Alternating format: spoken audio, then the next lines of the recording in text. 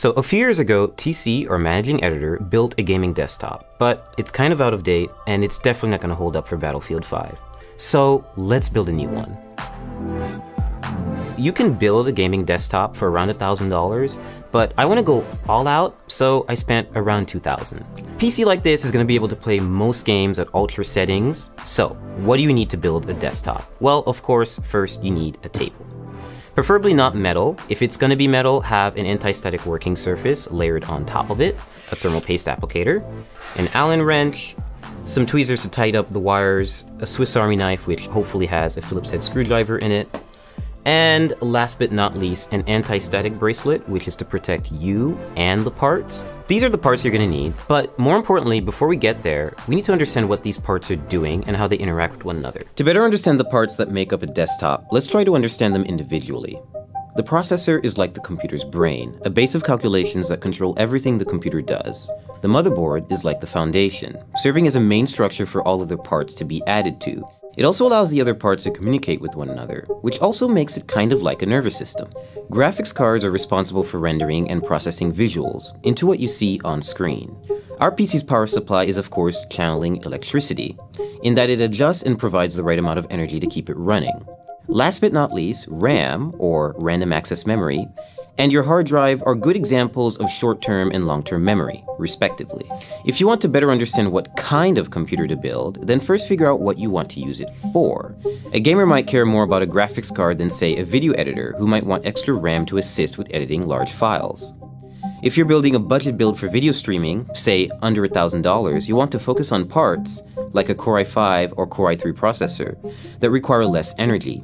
They'll be less powerful, but then you'll be able to scale back the cost of several other parts.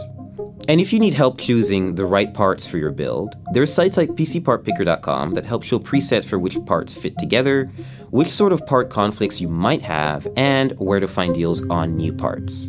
We have a lot of boxes and a lot of PC parts, so it's best you unbox them, isolate the parts that you really need, place items into the case, and make sure that they all fit, and then start working. And now we're really going to start building by adding the motherboard in. Some notes about installing motherboards, they're really delicate, you should be really careful with them, and screw in with confidence, but also don't screw in too hard, otherwise you could crack the board. I chose Asus's Z370 motherboard for two main reasons. One, it has built-in Wi-Fi and Bluetooth, and also it has support for NVMe SSDs, meaning you can get really fast SSDs that are really easy to install. Pay close attention to the brace that goes at the back of the computer. You always have to make sure that you really hammer it in because there's no screw, it really just has to go outside of the case and clasp onto the frame. And this is very important because otherwise you can't align the motherboard correctly with the holes. We're just gonna start installing all eight screws. So next we're gonna install the RAM on the motherboard. I chose Corsair's 16GB Vengeance LED RAM for two main reasons. One, it has LEDs and we do like lights in our gaming desktops. Secondly, uh, it's pretty fast RAM. It's 2666 megahertz, I believe. So it's pretty fast, and this motherboard supports that speed, which is most important. Open the slots first, and just aligning the stick with the middle of the strip, not with the end, and just lining that up with the logo. So once you hear that solid clasp and you don't see the gold connectors on the side anymore, that's when you know the RAM is in. Step 3, we're going to install the hard drive, or in this case, the NVMe SSD. I chose this format of solid state drive so that I could input it into the motherboard without having to worry about extra wires or putting it in a separate part of the case and just getting really messy. This is from Kingston, and it's 480 gigabytes, so it's not a lot, but you can always upgrade this and swap it out, and it's only held down by one screw and the latch, so it's really simple and really straightforward. Speed for gaming is important when it comes to a hard drive. You want files to write quickly and you want games to load quickly, so that's why it's best if you use an SSD. Okay, so step four, we're going to install the graphics card. I chose PNY's GTX 1080, which is overclocked, and so it's a pretty easy installation. You're just gonna find the gold connectors, and you're gonna line this bracket with the back end bracket of your PC case. Now, which lane you choose depends entirely on what other parts you're gonna put in the system. I'm just gonna pick the top one because the SSD is at the bottom and I don't wanna cover it. I just think it looks nice. Click down. Take your remaining brackets and just put them in the spots that you haven't used. You don't have to screw these in. They get bolted down by the back-end bracket. And your GPU is installed. Power supply time. I chose Corsair's 850 watt power supply because I need enough headroom for ray tracing GPUs when they come out, and I don't want to have to upgrade it again. So all you have to do is take the brick and make sure that you align it with these little insulating pads so that the power supply doesn't short circuit and come into contact with the rest of the system. So just take it in, slide it in nice and easy until you have a snug fit, and then shift it to the back and make sure it's right up against the frame. Now you just take the required screws and you tighten and screw in. So next step, we're going to install the CPU cooler. In this case, it's going to go on the top end of the case, and we're just going to have the hose hang out for a little while until we install the processor, which is going to come a little later. Always be sure to try to place it in the system first before you install it, because you can see it takes up a lot of space. But in this case, no pun intended, it fits in perfectly, and we're gonna start screwing it in. And so there's nothing special about this screwing in process. They're just really long screws because they go through the entire frame of the cooler, and they take forever. So next up, cables. Every power supply is going to come with a big bag of Velcro cables. It's kind of daunting at first, so you always have to find the ones that are going to fit. In this case, you need to match those cables with the correct descriptions on the power supply.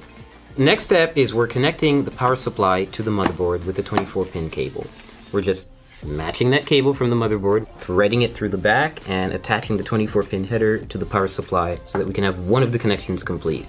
The next few additions will be for the GPU, for any specific ports that the case has, for any lighting that the case has, the CPU cooler, the, anything else really. We're installing the CPU, the heart of the computer or the brain, depending on how you look at it.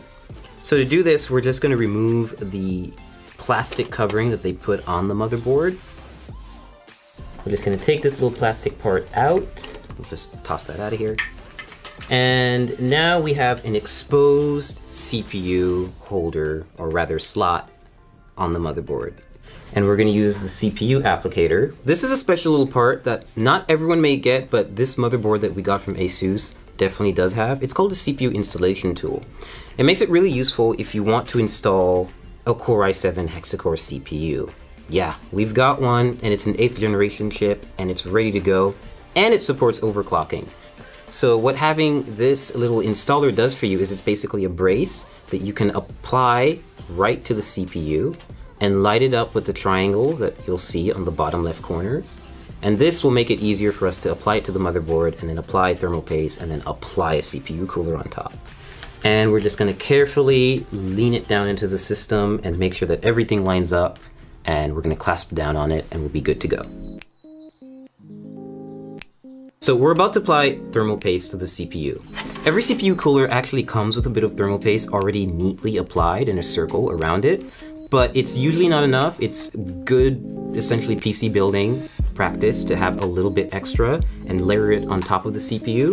The final portion is to add the CPU cooler to the top end of the processor. So you're gonna see that there are four brackets, or rather like screws in here with brackets and holders right here and they're going to keep the cooler raised off the processor, but it's also going to be close enough to actually physically come in contact with it, like basically keep it cool. Take thumb screws like this and just screw them on.